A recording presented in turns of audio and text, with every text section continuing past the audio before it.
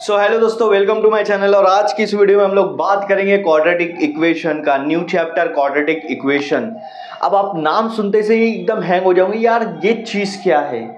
आपको तो पता है इक्वेशन वो चीज़ होती है जो इक्वल टू के दोनों साइड लिखी हुई रहती है। अगर मैं आप, आपको यहाँ पर बता दूँगा x is equal to five ये भी एक टाइप की आपकी इक्वेशन है। इधर x लिखा हुआ इधर फाइव लिखा हुआ बन गई आपकी इक्वेशन बीच में इक्वल टू आ गया।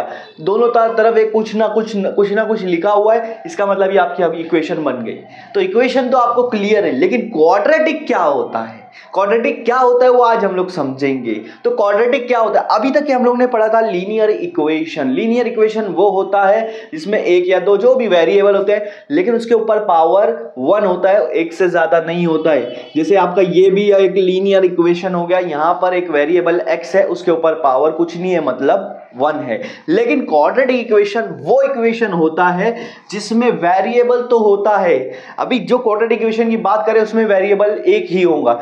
लेकिन उसका मैक्सिमम पावर टू होगा, सबसे ज़्यादा पावर टू होगा, उससे ज़्यादा नहीं होगा। ऐसी इक्वेशन को हम लोग कहेंगे क्वाड्रेटिक इक्वेशन मैं आपको उसका जनरल इक्वेशन बता देता हूँ क्वाड्रेटिक इक्वेशन कैसे लिखते हैं। A x square plus b x plus c equal to zero sorry sorry so ये सॉरी मैं गलती से बोल दिया ठीक है सो देखो a x square plus b x plus c equal to zero ये है जनरल इक्वेशन किसका? क्वाड्रेटिक इक्वेशन का। अब आप देख रहे होंगे कि यार ये कौन सी बला है? ये क्या चीज़ है यार? समझ में नहीं आ रहा है। मैं आपको समझाता हूँ। इसमें ए बी सी कुछ नहीं है कांस्टेंट नंबर है। ए बी सी जो आपका ये है, ये सिर्फ़ नंबर है जिसको बोलेंगे कांस्टेंट मतलब ए बी सी की जगह पे कुछ भी आ सकता वन टू थ्री फोर कुछ भी आ सकता तो उसका हमारा कोई लेना देना नहीं है। मतलब वो इतना हार्ड टॉपिक नहीं है, वहाँ पे आप कोई भी नंबर डाल सकते हो। मेन आपका वेरिएबल है। वेरिएबल किसको बोलेंगे?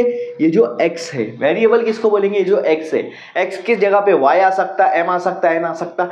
लेकिन वेरिएबल क्यों कहते हैं? क्योंकि इसकी वैल्यू चेंज होती रहती है। इसकी वैल्यू क्या होती रहती है? चेंज मतलब वेरी होते रहती है, इसलिए इसको हम लोग लिखते हैं वेरिएबल ठीक है? तो वेरिएबल हमारा यहाँ पर क्या है? एक्स कितने वेरिएबल यहाँ पर? एक वेरिएबल सिर्फ़ एक्स वेरिएबल है। वो दो जगह लिखा है, लेकिन वेरिएबल कितने हैं? एक वेरिएबल है। लेकिन यहाँ पर अगर आप देखोगे तो वेरिएबल के ऊपर ये पावर वन है और ये टू है। ठीक है? जिसके ऊपर कुछ भी पावर नहीं रहता मतलब वन रहता। और यहाँ पर एक्स के ऊपर क्या पावर है? टू तो मैक्सिमम पावर कितनी आ गई यहाँ पर टू सबसे ज़्यादा पावर एक्स के ऊपर क्या है? टू है। टू से ज़्यादा पावर नहीं रहेंगे। इस चीज़ को हम लोग बोलते हैं क्वाड्रेटिक इक्वेशन एकदम सिंपल टॉपिक है। एकदम सिंपल टॉपिक है कि आपका जो वेरिएबल है वेरिएबल का मैक्सिमम पावर टू होना चाहिए टू से ज़्यादा नहीं होना चाहिए। और एक और चीज़, इस इक्वेशन में ए की वैल्यू ज़ीरो नहीं होना चाहिए।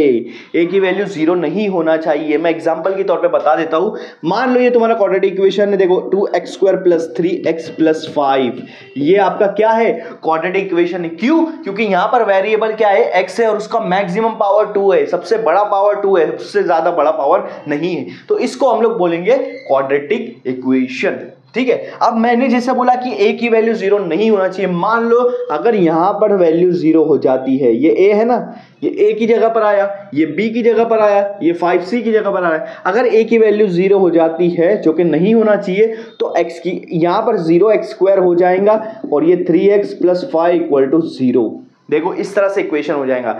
और अगर यहाँ पे ज़ीरो हो गया, इसका मतलब ये पूरा टर्म क्या हो गया? ज़ीरो मतलब एक्स स्क्वायर आपका ज़ीरो हो गया तो यहाँ पर कोई वैल्यू नहीं बचेंगी तो आपकी इक्वेशन रहेंगी three x plus five equal to zero इसका मतलब ये इक्वेशन ऐसी इक्वेशन बन गई जिसमें वेरिएबल का पावर सबसे ज़्यादा पावर वन है। टू वाला पावर तो ज़ीरो हो गया ना। जब टू वाला पावर ही नहीं है तो इसको क्वाड्रेटिक इक्वेशन कैसे कहेंगे? इसीलिए बोल रहा हूँ कि ए की वैल्यू ज़ीरो नहीं होना चाहिए, क्योंकि ए की वैल्यू ज़ीरो हो गई तो एक्स स्क्वायर चला जाएगा। एक्स स्क्वायर जाना ही नहीं चाहिए।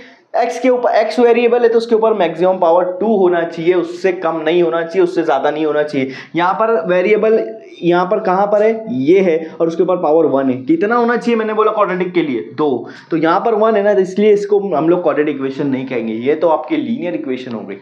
एक्स का मैक्सिमम पावर जहाँ वन होता है, वो लीनियर इक्वेशन हो गई। क्वाड्रेटिक इक्वेशन में मैक्सिमम पावर कितना होता है? टू होता है। तो समझ में आया आपको? बी और सी आपका यहाँ पे ज़ीरो हो सकता है। अभी आप देखो।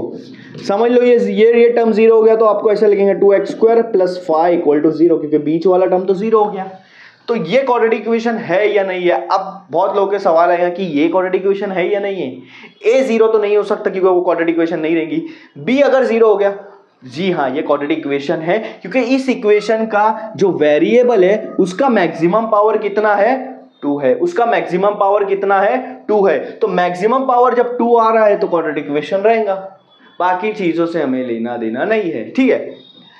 अगर फाइव वाला ज़ीरो हो गया, बाकी रहा और फाइव वाला ज़ीरो हो गया, two x square plus three x equal to zero, ये वाली इक्वेशन देखो, इसमें फाइव वाला ज़ीरो हो गया मतलब ये यहाँ पर ज़ीरो आ गया तो अब क्वाड्रेटिक इक्वेशन रहेगा या नहीं रहेगा? आप देखो ना वेरिएबल कहाँ है? ये है ये है, इसका पावर वन है, इसका पावर टू है मैक्सिमम पावर कितना है?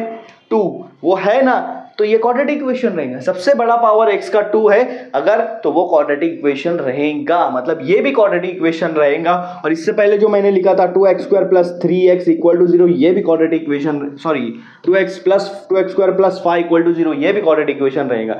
लेकिन, जहाँ पर एक पहला ही ज़ीरो आ जा रहा है तो वो क्वाड्रेटिक इक्वेशन नहीं रहेगा। मतलब एक्स स्क्वायर वाला ज़ीरो नहीं आना चाहिए। एक्स स्क्वायर का कोएफिशिएंट ज़ीरो नहीं आना चाहिए। ए ज़ीरो नहीं आना चाहिए। तो उसको क्वाड्रेटिक इक्वेशन नहीं कहेंगे, बाकी ये क्वाड्रेटिक इक्वेशन रहेगा। जाएगा एक और चीज़, अगर ये चीज़ ऐसा हो गया two x square equal to zero मतलब ये दोनों ज़ीरो हो गया, तब भी ये क्वाड्रेटिक इक्वेशन कहलाएगा, क्योंकि इस इक्वेशन में वेरिएबल एक्स है और उसकी पावर मैक्सिमम क्या है? टू है। मैक्सिमम क्या है? टू है। समझ में आ रहा है? हाँ तो एक और एग्ज़ाम्पल देकर आपको बताता हूँ। एक एग्ज़ाम्पल देकर आपको बताता हूँ। मान लो एक इक्वेशन आपके पास three x cube plus five x square is equal to six x अब मुझे बताओ, ये क्वाड्रेटिक इक्वेशन है या नहीं है? सबसे पहले आप देखो की इक्वेशन है क्या? जी हाँ इक्वल टू क्या? दोनों तरफ़ कुछ ना कुछ लिखा है मतलब इक्वेशन है। अब आप देखो यहाँ पर वेरिएबल कहाँ है? ये है ये है, ये। वेरिएबल पे सबसे बड़ा पावर क्या है? थ्री है। तो ये क्वाड्रेटिक इक्वेशन नहीं हो सकता, क्योंकि वेरिएबल का सबसे बड़ा पावर कितना होना चाहिए? टू होना चाहिए। समझ में आ रहा है? तो इस चीज़ को हम लोग कहेंगे क्वाड्रेटिक इक्वेशन